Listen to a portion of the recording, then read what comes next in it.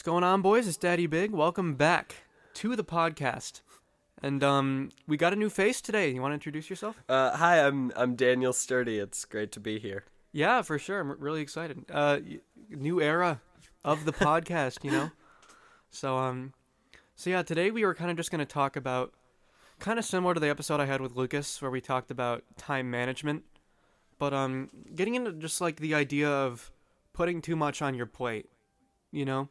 Mm-hmm. And um, you, do you want to open anything with that? Um, yeah, I I I think comparing this to your uh, podcast with Lucas about time management is a really uh, valid comparison. Yeah. Um, because with overworking yourself, it doesn't even need to be in lieu of time management. It can just be not realizing.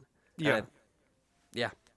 I mean, like, well, time management is more how how you handle and actually do the things on your plate, you know. Mhm. But that, like, the amount you put on your plate doesn't really have anything to do with your time management skills. And I think it is kind of a skill in its own to be able to plan out what you can do in your life, Mhm. you know. Yeah. But they're they're kind of separate. But we're probably gonna be.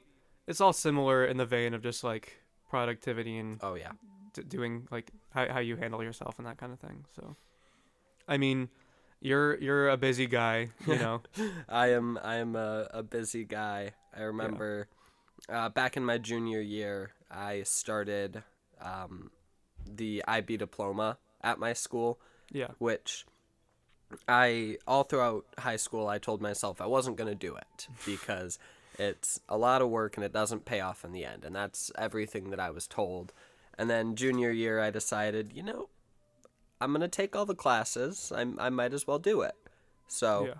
I signed up for it, and um, it's rewarding. Don't get me wrong, but it's a lot. It's a lot of work, and um, you know, I've got that.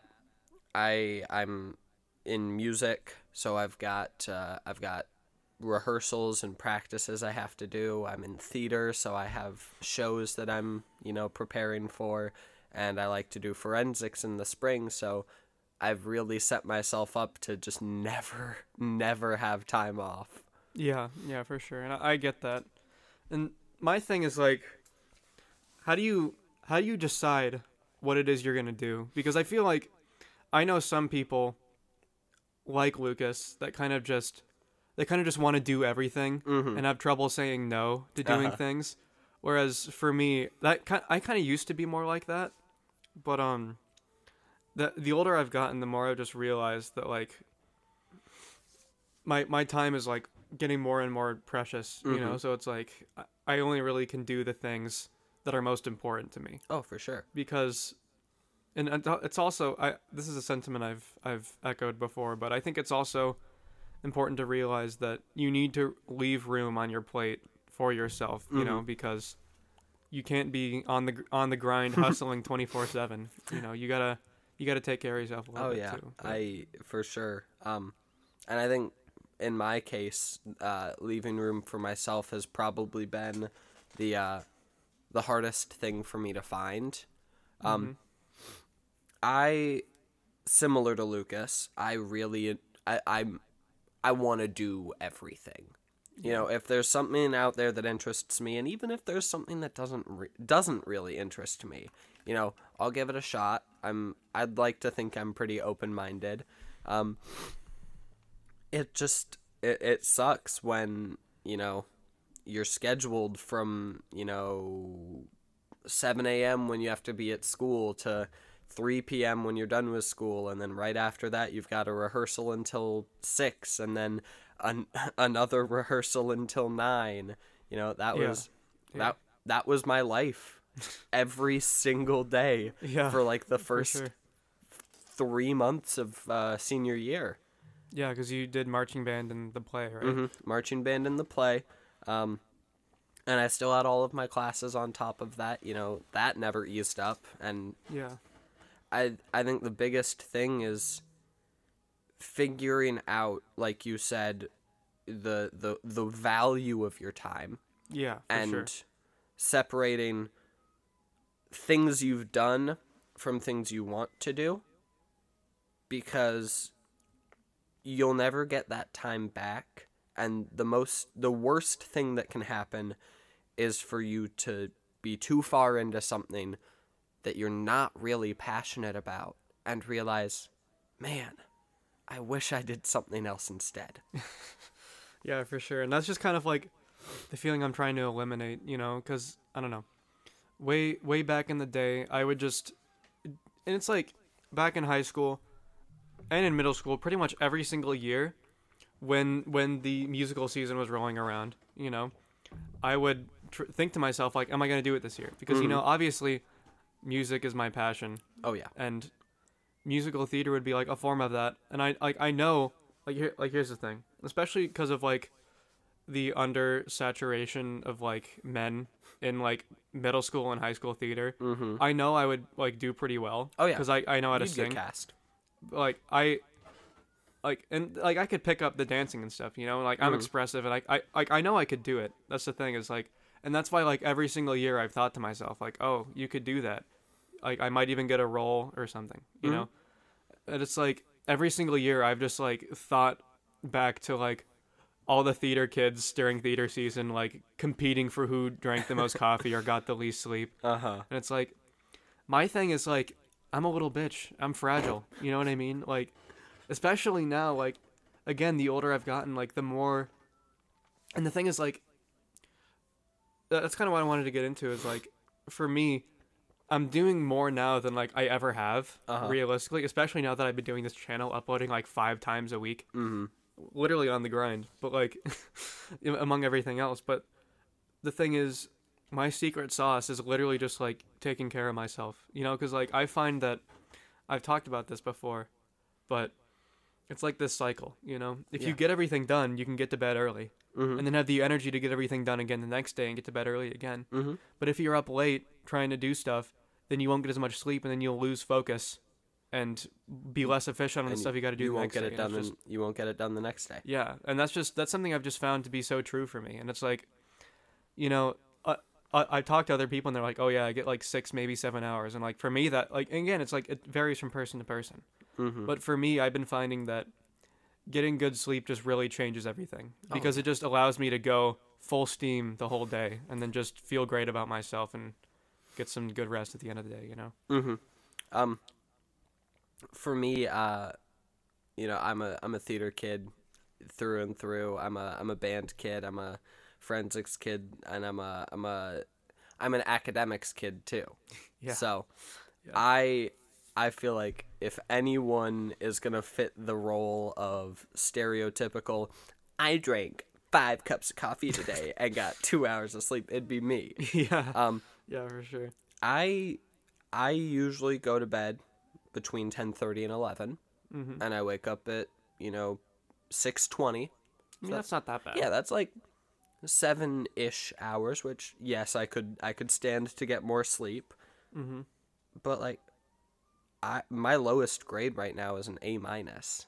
Like yeah, I want it to get to an A, but I'm not like I'm not failing my classes. hmm I've ne- I've never failed a class.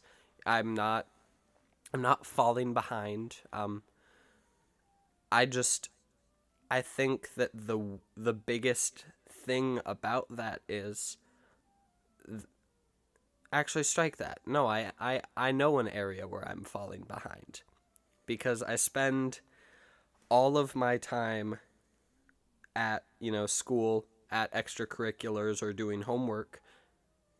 I mean, this is like the first time I've gotten out of the house to, to hang out with a friend. so And and we're and we're doing business. we're we're doing business and we're Yeah. doing we're we're doing it's fun. Don't get yeah, me for wrong. sure. I, I I I, told yeah, I totally get it because like, I mean like you know, Lucas and I always say that we just can never stop talking about each other. But like, Uh-huh. You know, like especially when we were doing more films more often, it was like all like all we would ever do. Like we were still best friends, but all we would ever do was do work together. You Mhm. know, and it's like I totally get that. Of, I mean, you're saying like you don't even have time at all to do anything with people, but yeah. you know, it's like I get that of, you know, this is like the only thing you had time to do, and we're we're not even just hanging out. We're doing something, you know. Mhm.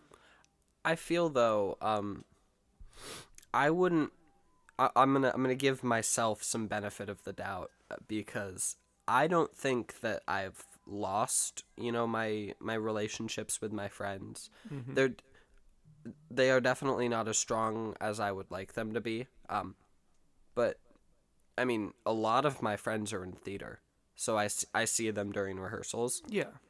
I mean- that's just the high school experience. you know? Exactly. Just doing things together with your friends. Yeah, yeah. I, I have I have plenty of classes with Sam, so I mean I'm not I'm not without seeing him. I've I've got lunch. podcast main character.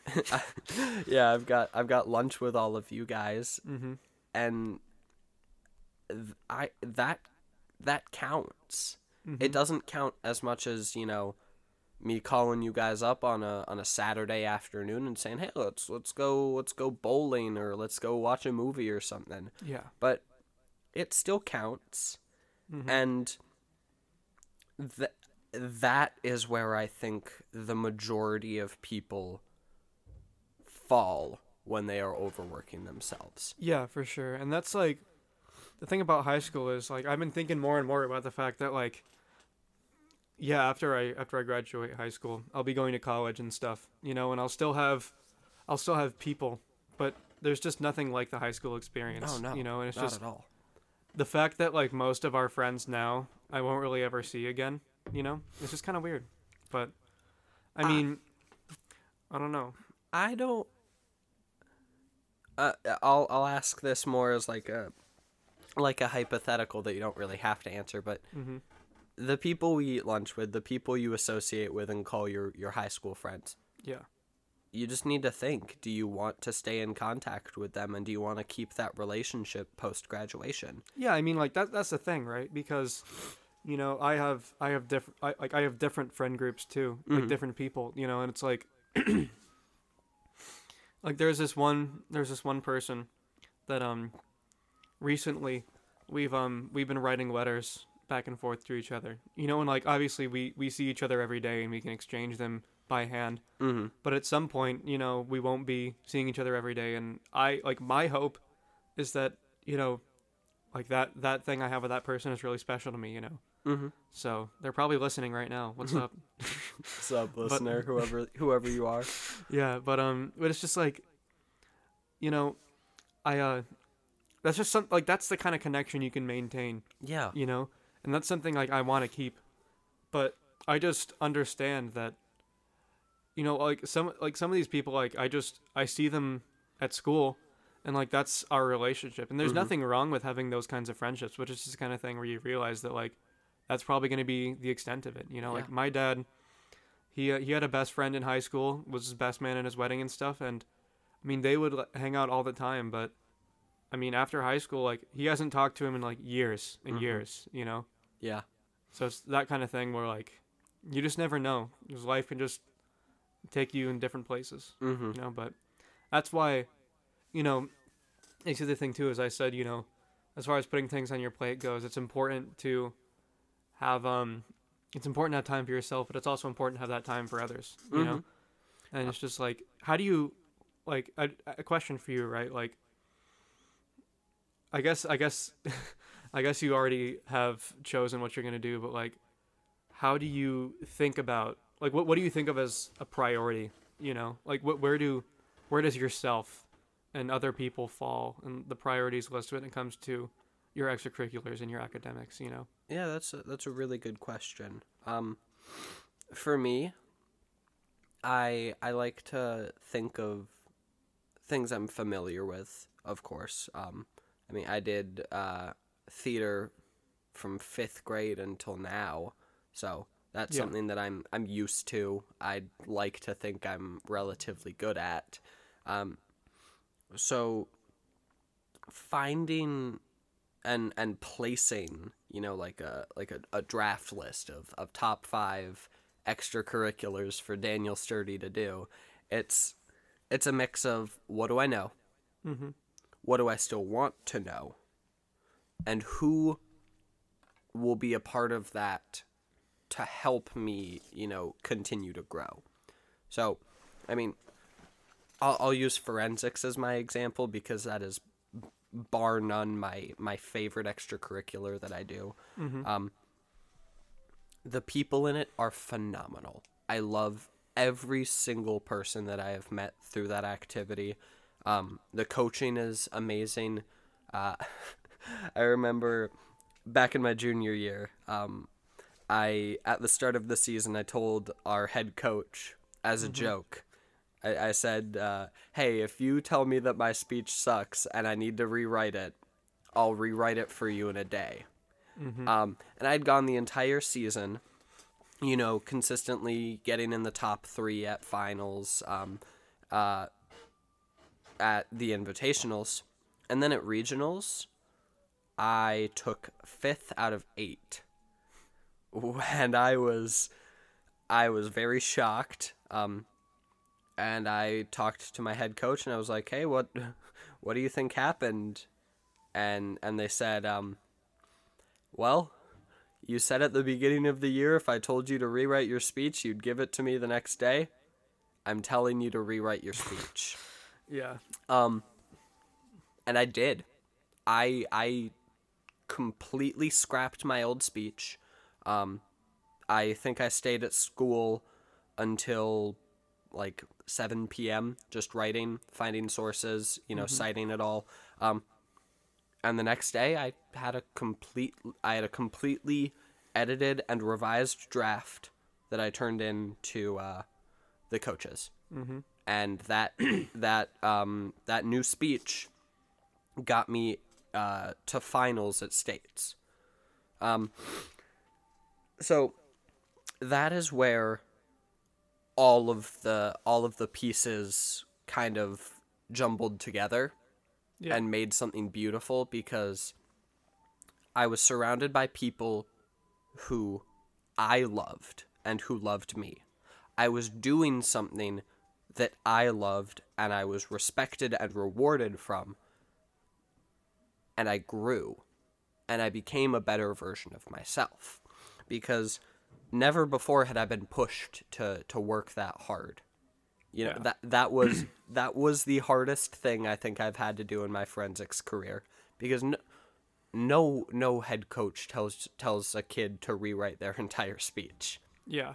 But- Um, but that that is what makes a priority.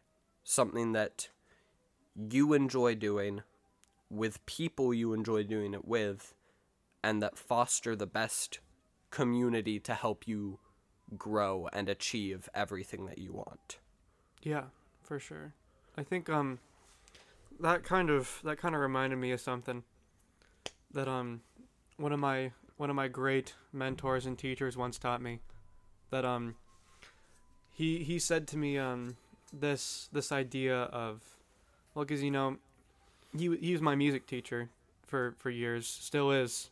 I think he probably always will be. Hmm but um, you know, after he got his master's degree, he was just taking odd jobs, working, you know, for years and years, and it's just like, you know, because be, being a, like finding a way as a musician to pay the bills, you Mhm. know, It's hard. and it's like the thing the thing he told me is that that really resonated with me is well you know cam because he knows i'm going to be going down the same path as him to some extent. And he, he just told me he was like hey you know for me in a job you got to have two or three things for it to be a good job right? You're either got to make money like what you're doing or like the people you're doing it with. Hmm and obviously we're not making money from doing anything at high school but like it's just this kind of idea that like this just i mean like you for you like forensics that's something like that you're really passionate about and you said like you love the people you do it with you know Mhm.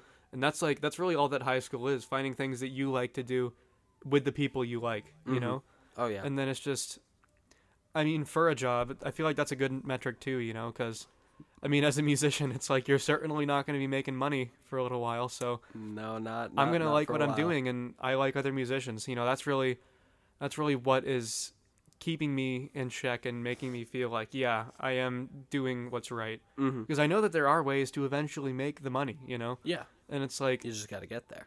yeah, for sure. So, kind of, kind of a similar topic, but Yeah. yeah. So you you said that for you a priority is just something that fulfills that for you, that makes you feel good about yourself and Mhm. do have that experience with other people. Yeah, yeah. I mean, like if if forensics is like your number one like big thing that you love the most, like what what motivates you to do so many other things that kind of almost I, I won't say get in the way of it, but just kind of get in the way of it.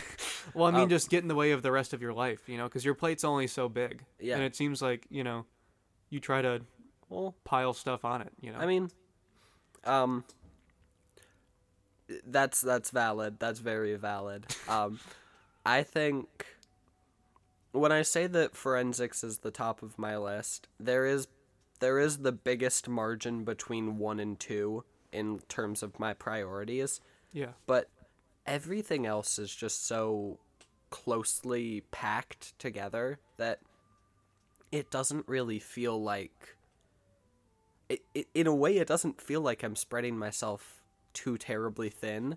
Um, and I, I know that I know that I am, but like you mentioned, uh, finding time for yourself as being one of the most important things, and I could not agree any more with you. Um, but finding time for yourself doesn't have to be finding time for yourself alone. I I I find time for myself in a multitude of different ways. When I'm I mean, when I'm when I'm playing in uh, in rehearsal at, at, at band, when I'm when I'm hearing the music that's being made by everyone, Yeah. even if our even if our pieces aren't as uh, entertaining and difficult as I'd like, it's still it's still pretty music. Yeah, Um, for sure. I, I get what you mean. and uh, you know, in theater, when we finally get that that harmony to to meld right, and it sounds beautiful, like those are experiences that are for me. Yeah, like those those little moments that that charge you up, Mm-hmm. you know. And I totally get what you mean because like in you know like back in high school band as a percussionist Mm-hmm. playing high school level music, Yeah. It's basically like if I get to play at all, I'm falling asleep anyways, you Yep. know. Yep. And it's like it's cuz like you know cuz the thing is like percussionists are just like as a like you know I want to be a composer, right? Mhm. And one of my main goals, one of my main missions is, Is to write up. stimulating music for percussionists because Uh-huh. like like people have just been getting away s- with writing shit for so long. Yeah. Like it's bad, Mhm. you know? And it's like I get I get that you want to let the winds go off and do their own thing, but I- it's like you can't just leave you can't just leave me dry for 131 measures. I you know pity mean? the composers who have to write stuff for sixth grade bands. Yeah, that, that, that's a different story. Yeah. But it's just like, like the stuff I like. Most of the stuff I play could be played by sixth graders, you know. And it's like, I don't know. Mm-hmm. Yeah. It's just one thing that just we've just, but concert percussionists just kind of have to deal with. Yeah. You either get stuff that's like unbelievably insanely hard because it's written poorly, Mm-hmm. or because it is really hard, or just Easy. really easy. There's like I feel like it's really hard for a lot of composers to find that medium for percussionists Mm-hmm. where it's enjoyable and a little bit difficult but not like, you know, absurd. But- Exactly. but, Um, uh, tangent aside, it's just like I get what you mean about like just absorbing the music because you know like even though most of the time the music I'm playing isn't very fun, it's like I still like I remember my sophomore year for um when we went to contest we Mhm. played three pieces we played um uh I, it was um well the first one was variations on a Korean folk song Yep. and then the It other one It was that really that one pirate, the sounding one. yeah that was um that was um Longford Legend That's specifically one. the, third movement Yep. it was called Killyburn Brae but I'm I'm thinking more of um the march that we played what was Oh, it called uh, Belgian, Belgian- parachutists. March of the Belgian parachutists. yeah yeah that or paratroopers or Par- yeah, was it whatever it paratroopers was. I don't I don't know but um That but one it's was like- so easy. I know, and that's the thing is like for most of the band except the like lead trumpets, it was pretty much a snooze fest. Yeah, but like I don't know, it's like even though my parts weren't anything crazy for either of those, it's like especially for um especially for variations, it's like I like fell in love with that music and just band class was really really fun because I could just go and listen to that music and just absorb it and think Mhm. about it, you know? Yeah. That's what's that's at this point like that's what's more fun for me like obviously I try my best to play with really good quality Mm. and be a good percussionist, you know. But like it's more it's more so just like cuz like I understood so deeply what you said about like just going and being able to enjoy the music that's being made cuz you know like Mhm. for me too I I almost get to study it for like the months that we prepare it Mhm. as a composer and just Oh, think yeah. about how it like why it sounds like that, you know. And Yep. it's just it's just kind of like looking I get what you mean, right? And it's like another thing too is I started I started taking an art class in my junior year, which Mhm. is something I had wanted to do, and it kind of just it kind of the universe kind of just made it happen for me because um, my junior year I really really wanted to do choir, Mm-hmm. but I couldn't because it was on the same. There was only one choir class, and that was on the same time as another class I needed to take. Yep. And I took the one I needed to take because I'm a simp. But um, Because you needed to take it. yeah, but that just kind of left me with another another class to fill. Mhm. And I, d- I had taken art my freshman year online, you know. And I was like, well, I can try it again. And, you know, I have like some really good friends in that class that I get to sp- like hang out with every day. Mm-hmm. And, you know, I actually, it's because the thing is like, you know, I spend so much time with music as my creative outlet that art's kind of something I can take less seriously, but still do well, you know. Yeah. And I've been getting way off topic. No, no, no. but that's I- kind of just how the podcast goes here on Daddy Big, you feel me? it's that's also that's also valid because um Kind of just meander a little bit sometimes. you know opening yourself up to uh to something that you want to do Yeah. that is that is you're putting more on your plate but you're putting stuff on your plate for you and i think that's the biggest um the biggest disconnect between so many people is yeah i i've got a lot on my plate cam i, I, re- I really do Yeah, Um, yeah, yeah. I do so many things. But the things that I do, I'm not being forced to do them. My uh, my parents have told me that if I if I decided I didn't want to do the IB diploma, that I that I didn't have to. If I decided that I wanted to drop um, theater at any point, they would support me. Um, even even marching band, which is something that they they really hammered that into uh, me and my siblings' um, high school career. They said they would support me if I decided I wanted to drop, yeah. But and I didn't. mm-hmm. And I've never, I've never had to worry that signing up for something was a was a deal with the devil that I could not break. Yeah. But I mean but I think to some extent I disagree with the sentiment that you can that you can stop whenever you want. You know, cuz it's like I mean like obviously you can. Like Mhm. like no one is literally forcing you. But I Yeah. think that and I think you can probably you can probably um testify to this that even if you know and understand that oh I don't have to do this there's very much so still that expectation Yeah. and more importantly and I feel like it's also something very internal that just in general I feel I don't know if this applies to you but you would feel like you're letting people down We're people not- pleasers. Uh, Yeah. Like huma- humanity and, and humans in general have a desire to appease everyone else. Yeah, Um, and it's like, how do you, how do you feel like? Because here's the thing, right?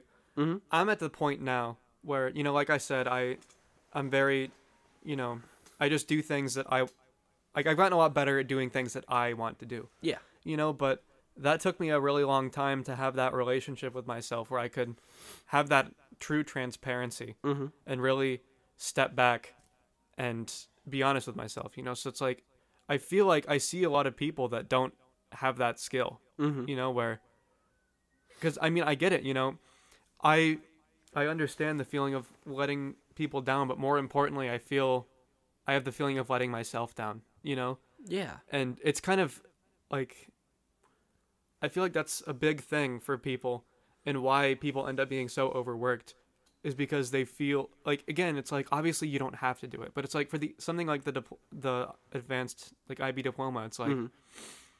you like it was kind of a situation of like oh I maybe I'm wrong but maybe it's kind of a situation of oh I could do it Mm-hmm. and like you know you'd be good at it you know. So it's like, why wouldn't you?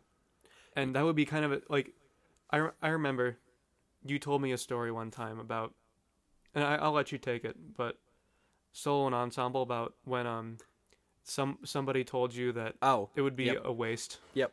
Yeah. Yeah. go- Uh, I. I actually was going to bring that up because of your tangent talking about um, listening to the music in band but not feeling pushed. yeah. Yeah. Um, so I play alto saxophone. Yeah. Um, you know that. Um, I have do. played since uh, fifth grade, but I really started playing, actually playing in uh, my freshman year. Um, and uh, my junior year, I went to solo and ensemble, and I played uh, a beautiful piece of music, uh, the Glazunov Concerto for alto saxophone. Um, it's the hardest piece of music I've ever played, um, which would make sense because I played it for junior year. Um, but I remember um, in the in the weeks leading up to solo and ensemble, uh, friends of mine in my section would ask to sit in practice rooms with me so they could listen to me play, and and I said sure. Um, I was I was touched, but I I didn't really click until uh, the actual day of solo and ensemble when I walked into the room with my accompanist, and already sitting in the room were both of my parents, the three band directors, and Everyone was there to watch you. yeah, th- all of them were in there to watch me, and then That's pretty crazy. uh, yeah, so um, they were all there to see me, and then a couple of uh, my friends from my section, and my private lessons instructor. So it was it was a a packed room, and and you Yeah. you've I, I've I've never had that treatment before. um, it it was weird. I've never had that treatment before either. Um, and um, it was like a six minute solo because I had to. It's a fourteen minute piece originally, but you Yeah, can't have play to- that long. Had to trim it down. So I trimmed it, um, and I played it, and I, in that moment, I just I felt so, I felt I felt loved by everyone in that room, which is an incredible feeling to have. Um, and the uh, the judge in in the room, uh, he. He, he said he needed a minute to just like compose his thoughts, which caught me by surprise because I've had this is the same judge who judges all of the saxophones. Um, Yeah, and he had heard you before, right? yeah, he'd heard me before um, uh, play solos my first two years, um, my, uh, and then duets and saxophone quartets all throughout you know high school as well. So him telling me in that moment that he needed a minute, Yeah, that was that was that was that, that, was, was pretty really pretty special. yeah that was really something. Yeah. Um, I mean, I, I had I had the same guy most of the time too, you know. So I, I Mhm. get it. You recognize him, but Yeah. Um, and he told me, uh, he asked me if I uh, thought I was gonna pursue music after high school. Um, and I was honest with him. I told him, I'm not sure, but probably not. Which, in that moment, it kind of it, it hurt me a little bit to say that because music is such an important part of my life. yeah, Um, but he said, said you know you know Daniel that's a real shame because if you wanted to pursue music, I think you have a very good shot, and I am positive you would make it in the music world. yeah, Um, and uh, and him saying that really, really took things to a different level for me. Um, so much so that uh, uh, uh, a few days ago, actually, I I traveled down um, to a college in in state, and uh, I had a I had a saxophone audition for for college, and um, really. Are you think are you are you thinking about minoring or, uh, or double Um, majoring? or Yeah, something? possibly minoring or possibly double majoring in in Hmm. a science and a music. Um, Hmm, and interesting. yeah, uh, this uh, it it was a little it, it, it was a little weird because um, I'm a classical saxophonist, which Yeah. Yeah. is a rare breed among saxophonists. And uh, this university, they focus more heavily in jazz. Um, so here I am listening off my repertoire to uh, this professor, and, and he stops me for a minute and he says, "Y- y- "You know we're a, you know we're a, a jazz studio, right?" And I'm like, "Yeah." And he's he's like, "Well, if you're playing if you're playing Creston and and Milhaud and and Glazunov in high school, I have no doubt in my mind that you have the technique down to play jazz. We just we just need to, you know, we need to ease you into jazz because it's Yeah. it's a different thing. You can't just slap a jazz mouthpiece on and and call it good. Yeah. Um, but I played for him. I I played the the Glazunov again because it's what I was most familiar with, and um, he he really sounded like he wanted me at that school so he could uh, so he could so I could study with him he and could he could jazzify you. exactly so he could jazzify me.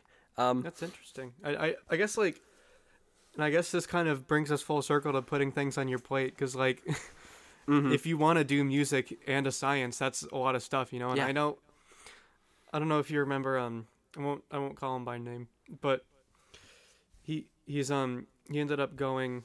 I don't know if I should even say where he's going, but um, uh, I don't know if you're even old enough, but like the really that one year we had the really really amazing bassoonist and alto player. oh yeah, um, he played tenor. Did he play? Yeah, He well he I, he plays I, I mean he plays all of them. the bassoon and saxophonist. Yeah. Yeah, yeah, I know. But um but yeah, I mean he ended up going to school for double majoring in saxophone and paper engineering, you know? And it's like at some point he realized when he was like the when he's like ended up being one of the best players in the country of his age that oh maybe I should stop doing paper engineering. But like yeah, it's just it's just an interesting thing because that's like and I mean some people do it, you know, some people do music and science and like obviously from my pers- perspective as a musician, I think it's really cool that you're choosing to continue that. Mhm. I mean cuz obviously you are skilled, but you know, that's the kind of thing where it does take a lot of dedication to be able to Yeah. keep both of those things on Yeah. your plate. And I think it's really because you know, I mean, you might be the kind of person who, when you're older, think would think to yourself like, ah, I regret having not pursued music more. Oh, I know I would. But- I, I know I would if I did. I mean, a lot of people, like a lot of young, young people like you that are good but don't have have the passion for it, but don't find a place for it in their life, end up Mhm. regretting it. But yeah. so I think it's really interesting that you are choosing to keep that on your plate. And I mean, like, how do you think? I mean, I mean, it sounds like music is fulfilling for you. So do you Mhm. think that's going to help balance the rest of help in, in, when you're in college, balancing from um your more academic stuff and your more music stuff? Um, I I one hundred percent think so. Um, I if I end up going to the to the college that I auditioned at, um, they take their academics very seriously. Um, Yeah. all of their programs are extremely rigorous. Um, and I know that I will be challenged if I do sciences. Yeah. Um, and I want that. I want to be challenged. I Mhm. want. Uh, I want to be pushed to grow. And I know that music will also push me, but it will give me a creative outlet to, you know, escape the the the science heavy world that college would lock me in, and let me, Yeah. you know, feel the music and and be the music. And I feel like that's something you probably understand as a as a music man yourself.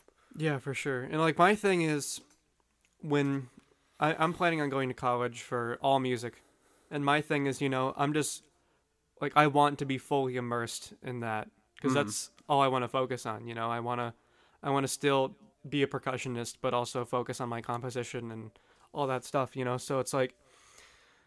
You know that that's just kind of what I want is just to be fully locked in Mhm. to music, but I can understand as someone who has at this point more of a side passion for it to still want to keep it up. And I think that's really special for you. Yeah. But um I mean like I totally get the idea of wanting to keep things varied, you know? Cuz I Mhm. mean you're probably planning more on pursuing whatever your science degree gives you. Mhm. But you know, for me, it's like kind of an example on my YouTube channel is like all of my most successful content is like my zombie stuff. You know, like my t- my list of top ten most viewed videos is all just that, and a couple Uh-huh. of my talking videos, which I also I- I'm pretty proud of that. But like, and also this video is going to be uploaded like several months after recording. I'm sure it'll be the same. But my thing is like, if I wanted to have the most lucrative channel possible, I would only focus on zombie stuff and not have any of this fluff kind of thing. Uh-huh. And it's like I've been doing Terraria stuff that gets like no views. But the thing for me is like, Does it make you happy? yeah, that's the thing is like I want to do it, and I feel like I would kind of go insane if I only ever uploaded one thing. Oh, yeah. you know, and it's like doing a variety of things gives me the drive to have because I would not be uploading five zombies videos a week. I'd be uploading still just one video a week. Uh-huh. So it's not like my other uploads are taking away from that. It's just more stuff, you know. Yeah. So it's like I get that idea of like even like and obviously my hobby YouTube channel is a far cry from your college career, Uh-huh. but hey, I might make money someday. But I mean, in a way, your YouTube analogy is the perfect way to to really symbolize and capture putting too much on your plate. You know, yeah, for sure. zom- zombies is probably something you enjoy. I mean, Yeah, for sure. Considering you make you you make videos about it, but also, I mean, you like playing Terraria. You Yeah. like you like making talking videos. You like doing this podcast. So, the biggest thing is you need to you need to figure out the things that you like Yeah, And and do yeah. and do them. Yeah, exactly. Because like my, the thing I've said, and this is a, a sentiment I echoed in my um, in my video discussing the hundred subscriber milestone. hmm I just said like, you know, I never want to lose the um the feeling that I would have as like a super small creator, Uh-huh. where like even just getting like one comment was like really exciting, or just hitting a milestone as relatively speaking insignificant as 100 subscribers is like a huge deal to me, you know. And it's like I don't want to lose. And the other thing too is like I understand that what's gonna keep me going is if I'm enjoying it, Mhm. you know, because obviously I'm not.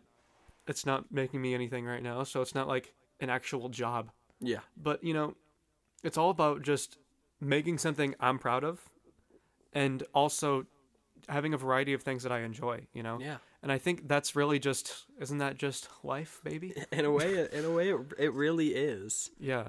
And you know that's just for me i'm just trying my best. You know obviously i'm try- getting kind of bringing things full circle here to putting things on your plate.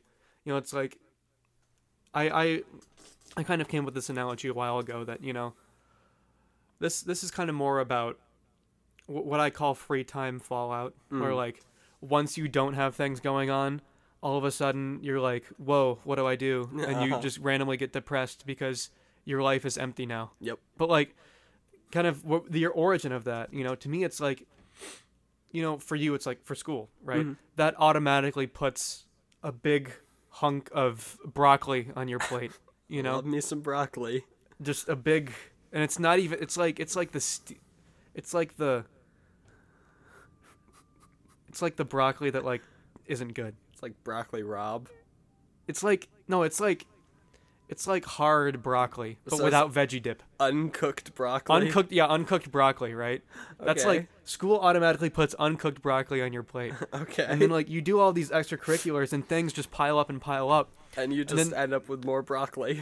Everything is just giving you broccoli. yeah for sure and then there's just like a little sliver in there that occasionally you can slip in a little bit of time for yourself and you can pile stuff on top of other things Mm-hmm. but you know i don't even know where i was actually going with this goddamn but like it's just like taking like the plate thing like Yeah. literally right you know it's like like you have all these things that fill up your plate but then like you got to make sure you're actually enjoying what you're eating Mhm. you know Yeah. and also leave a little leave a little time for dessert you know Yeah. leave a little room for yeah, that hundred percent. and it's like, you know, that's for me. It's just I've been, and you know, like I said, I I'm doing more now than I ever have. Mhm. You know, and why I'm able to do that is because I'm taking care of myself. Yeah. But also, it's because I'm able to maintain my drive and avoid burnout because I'm not focusing too hard on one thing. Mm-hmm. You know, like if all I ever did was my music, I wouldn't love it anymore. Yeah. You know? because it you you wouldn't have you wouldn't have passion in it. You'd be Yeah, I don't I don't want to get to the point where I'm just mechanically doing stuff, Mhm. you know? So having that variety in my life, still maintaining connections cuz you know, even though, you know, like you know, even though like seeing my like this this week, you know, I I hadn't seen my girlfriend in a while. Mhm. So, I had her over. And I remember saying to her I was like I was like, "You know what?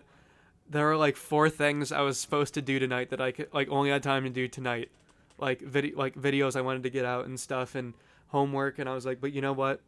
I'm here with you right now.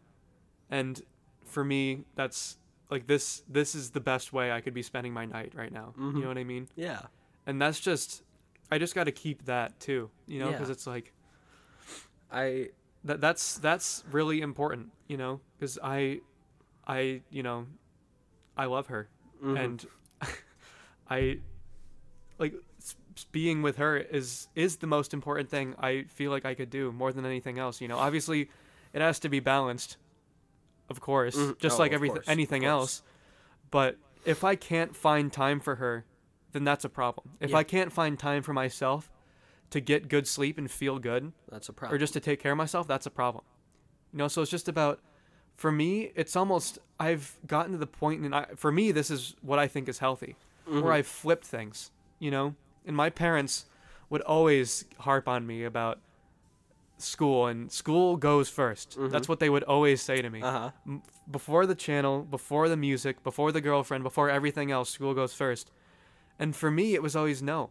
School isn't first, you know? Like yes, I am going to be very successful and not take it not seriously. Mhm. But it's like, if it gets to the point where it's 10 p.m. and I have one homework assignment that I I'm- need to you're do, going to bed I'm gonna go to bed. yeah You know, you, you get that, and it's like, I've gotten to this point that I'm I'm really happy with this that I've been able to flip things where me, my own health, and you know, my relationship with my girlfriend and my my best friends and my family, that's what really comes 1st mm-hmm. and obviously I need to do the channel and the music and and I mean music is kind of a different thing because that's like my real c- career drive. Mm-hmm. But like I don't know, I just feel like it's the other way around for so many people. yeah And I'm just proud of the fact that I've been able to make this switch in my head where taking care of myself is the most important thing. No, and that's great that you've been able to do that. Um, and uh, I I'm not sure if you were fully listening, but like the other day when we were having that conversation with Lucas, um, one thing I said to him was uh, I asked him, and it was more rhetorically speaking, but I guess now it's now it's not. Um, I know exactly what you're talking about. are you playing an active role in your own life? Yeah. Which Yeah. Is a question that I think a lot of people really need to ask themselves. And you were probably able to ask him that because you've wondered that about yourself, you know? I I asked him about that because I've I 100% have and I've been in his I, I am in his shoes with the exact same scenario he's going through. yeah. I yeah. went through it probably 3 days prior to having that talk with him. Um yeah, and that's just I mean so many so many people just I mean talking about when you were saying you're not forced to do things and I mm-hmm. disagreed saying I think to an extent you are, you know, whether or not you realize it. It's like it's that kind of thing where it's like le- leading an inactive role in your life would lead you to just do those things passively because Yep. you feel like you need to. you and know? it would lead for you it would lead you to, you know, it'd lead you to make 6th grade band music and to call that good. And it would lead you Yeah. to, you know, come in come into every band class and and give 3 out of 10% of your skill Yeah. to give 10 out of 10% for the band and and when you do that you you you stop caring you grow apathetic and Yeah. and everything on your plate you it it stops being fulfilling Yeah. you know you Gotta don't keep the plate fresh, you know. exactly you don't have to love broccoli Um, you use that analogy so I I'm actually like broccoli. i like broccoli too you My don't have dad to, makes some good broccoli. I, I i could go, i could go for some roasted broccoli right now i'm just just throwing that out yeah, there for sure. Um, you don't have to love broccoli, but I mean, you have to love yourself enough to know that you need food and you need nourishment. And and even if you don't love broccoli, I'm gonna I'm gonna eat broccoli before I eat nothing. But when you stop caring and when you start playing a passive role in your own life, you stop eating the broccoli, and you just you watch it mold in front of you. Yeah. Exactly. That's big. Yeah, that's big. That's big. Don't so yeah, don't let your um, broccoli mold, guys. We've gone exceptionally long. How so- long is this? 50 minutes so far. By uh, already the longest episode because this is going to be the first in the new session that I'm Uh-huh. putting up. So the, already by far the longest, which I'm not surprised about. but I think we should probably and I think already that was a pretty good way to wrap things up. Yeah. But anything else you wanted to Don't throw let your to- broccoli mold, guys. don't let don't let the broccoli mold. You got to keep the fresh veggies on your plate, you know. Mm-hmm. But I mean, I don't know if there was anything you wanted to recapitalize on or explore finally, but Um, having too much on your plate doesn't have to be a bad thing so long as you have built up a support system to accommodate for the amount of broccoli you have on your plate. Yeah, Um, and that's really what I mean for me. You Yeah. know, is an importantly support system doesn't just mean your friends; it means you. Yeah, You know. you, have to support yourself. Yeah. So I think that's, I think that resonates with me right now with all that I'm doing. Mm-hmm. Me as well. Yeah, and I guess my final words would just be, uh, just uh, get some sleep. Get some sleep. I like because like and again it's like like i said i am a little bitch i am fragile but you know i guess no my my final words really are to just really learn to be real with yourself. Mm-hmm. you know because BFFR. bffr because you know if you can't be honest with yourself who can you be honest with you know Exactly. it's like you gotta you just gotta learn how to have a good relationship with yourself Mhm. and that's taken me forever i've talked about it a million times on this channel but i don't think there's anything that could be more important so Yeah. so yeah Slay. we just got a we just got a big little a little what are those little you know like when you go to olive garden you Oh. get those little they're called dolcinis dolcini little little tiny little desserts we had a little one of those just now What the fuck are you talking about? I don't know. In any case, that is, you wanna you wanna say your goodbyes. Uh, thank you so much for having me. Um, I hope that uh, this this talk resonated with all of you guys out there listening. Um, and if you have too much on your plate, uh, it's never it's you should never feel bad about you know taking some broccoli off. Yeah, yeah, yeah. Yeah. Daddy Big out.